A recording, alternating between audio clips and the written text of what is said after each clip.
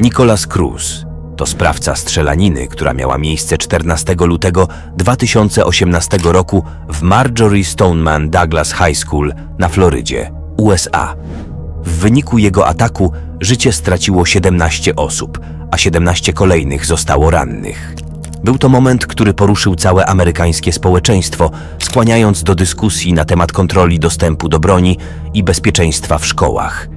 Cruz, który przed masakrą był już znany lokalnym organom ścigania z powodu problemów z zachowaniem i wcześniejszym zagrożeniom, po aresztowaniu przyznał się do zarzutów. Jego proces był długim i emocjonalnym okresem dla rodzin ofiar, społeczności i całego kraju. Ostatecznie, po rozważeniu wszystkich okoliczności, w 2021 roku Cruz został skazany na dożywotnie pozbawienie wolności bez możliwości zwolnienia warunkowego. Jego postawa w obliczu tak surowego wyroku wywołała mieszane uczucia. Nicolas wykazywał emocjonalną reakcję, która mogła być interpretowana jako wyraz skruchy lub przytłoczenia sytuacją. Cruz płakał w sądzie oraz przepraszał rodziny ofiar za swoje zachowanie. Z jednej strony było to zamknięcie bolesnego rozdziału, w szczególności dla rodzin ofiar, oraz krok w stronę sprawiedliwości. Z drugiej manifestacja emocji przez Cruza, która wskazywała, że zdał on powagę swoich czynów dopiero po odczytaniu wyroku skazującego. Jego reakcja może być odczytywana w różne sposoby. Mówi się nawet, że jego płacz i przeprosiny mogły być aktem manipulacji. James Holmes to sprawca strzelaniny w kinie Aurora w Colorado, która miała miejsce 20 lipca 2012 roku. Wyniku tej strzelaniny zginęło 12 osób, a 70 zostało rannych podczas premiery filmu Mroczny Rycerz powstaje. Sytuacja jest jednym z najbardziej tragicznych incydentów masowej przemocy w historii Stanów Zjednoczonych, prowokujący intensywne debaty na temat kontroli dostępu do broni i opieki zdrowotnej nad osobami z zaburzeniami psychicznymi. Holmes został aresztowany zaraz po ataku i szybko postawiony przed sądem, gdzie jego zachowanie i stan psychiczny były przedmiotem szczegółowych badań. Jego proces był długim i wyczerpującym procesem prawnym, podczas którego Holmes wykazywał niespójne zachowania. Momentami zdawał się być nieobecny, innym razem wycofany, co skomplikowało ocenę jego stanu psychicznego. Ostatecznie Holmes został skazany na 12 wyroków dożywotniego pozbawienia wolności bez możliwości zwolnienia warunkowego, a także dodatkowo na 3318 lat więzienia za próby morderstwa i eksplozje, które planował w swoim mieszkaniu. W trakcie ogłaszania wyroku Holmes nie wykazał znaczących emocjonalnych reakcji. Jego odpowiedź na wyrok była stłumiona, co mogło być postrzegane jako odzwierciedlenie jego stanu psychicznego lub efektu leków, które przyjmował. Dylan Roof to sprawca strzelaniny, która wydarzyła się 17 czerwca 2015 roku w kościele Emmanuel African Methodist Episcopal Church w Karolinie Południowej.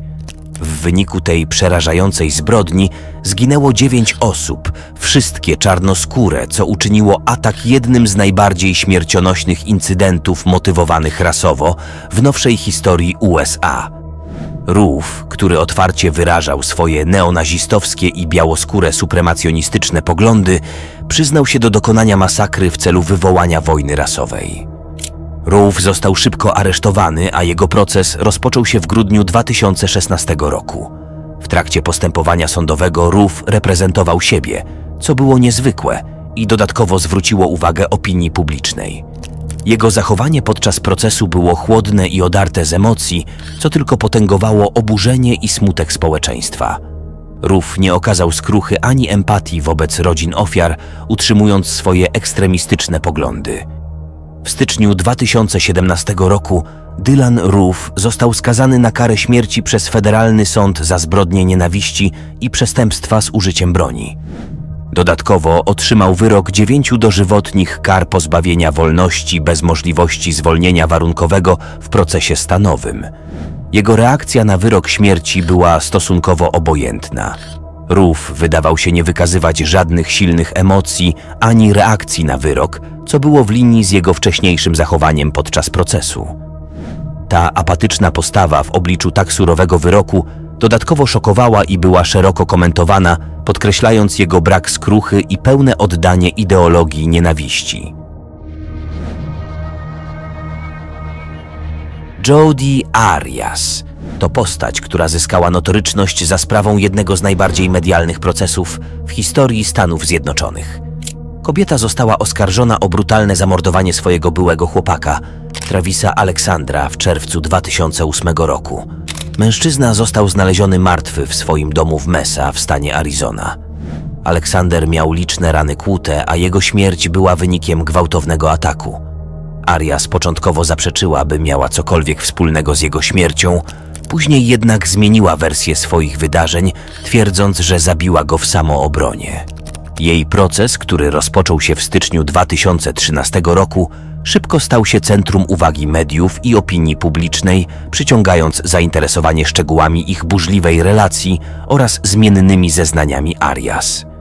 W trakcie 18-dniowych zeznań Arias opowiadała o dynamice ich związku, co wywołało wiele kontrowersji i sprzecznych emocji, zwłaszcza, że jej historia często ulegała zmianom.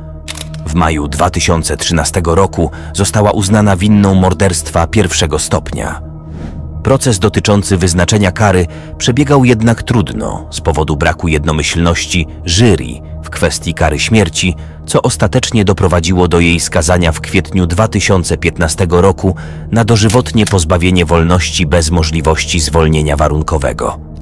Reakcje Arias na wyroki i w trakcie całego procesu były pełne emocji, oscylując między łzami a momentami, w których zdawała się być bardziej opanowana.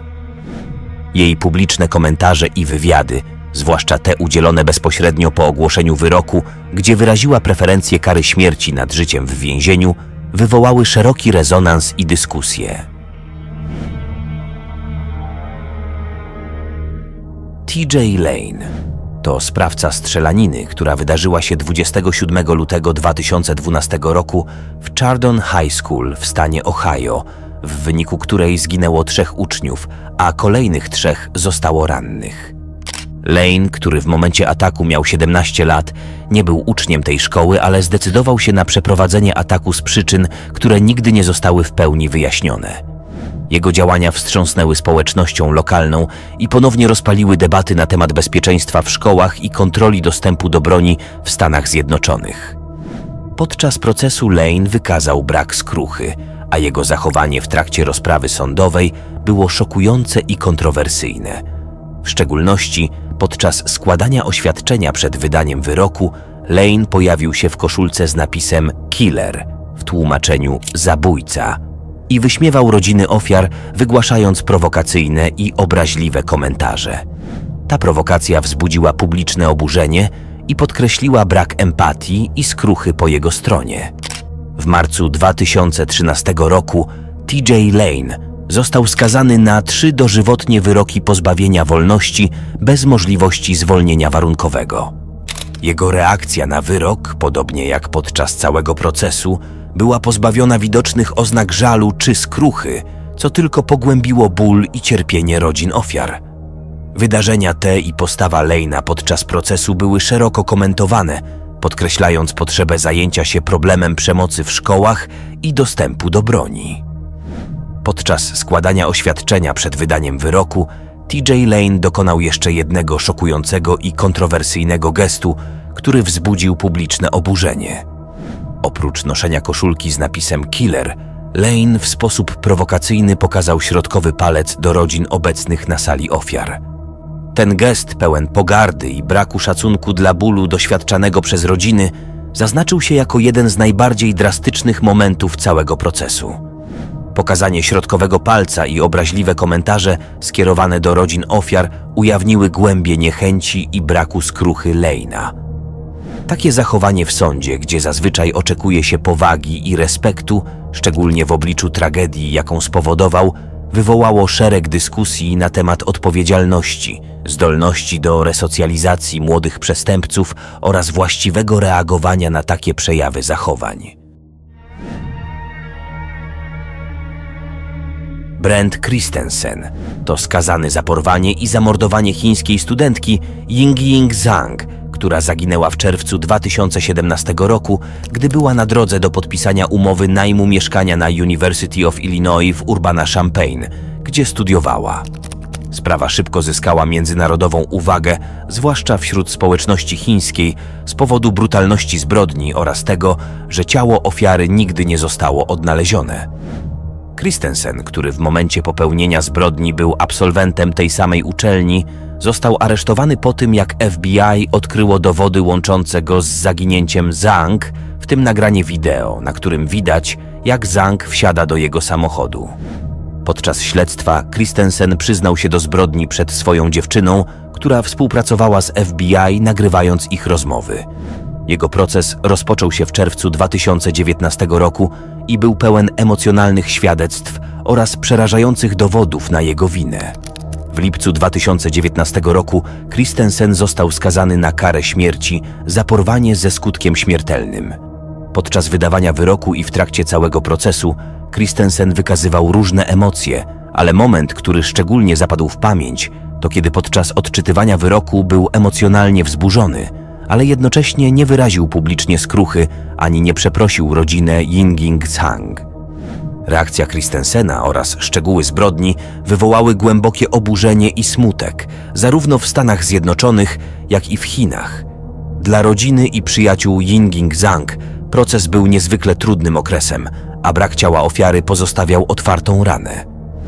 Sprawa Brenta Christensena stała się ponurym przypomnieniem o zagrożeniach, które mogą czyhać nawet w miejscach, które uważamy za bezpieczne i podkreśliła znaczenie współpracy międzynarodowej w śledztwach dotyczących zaginionych osób.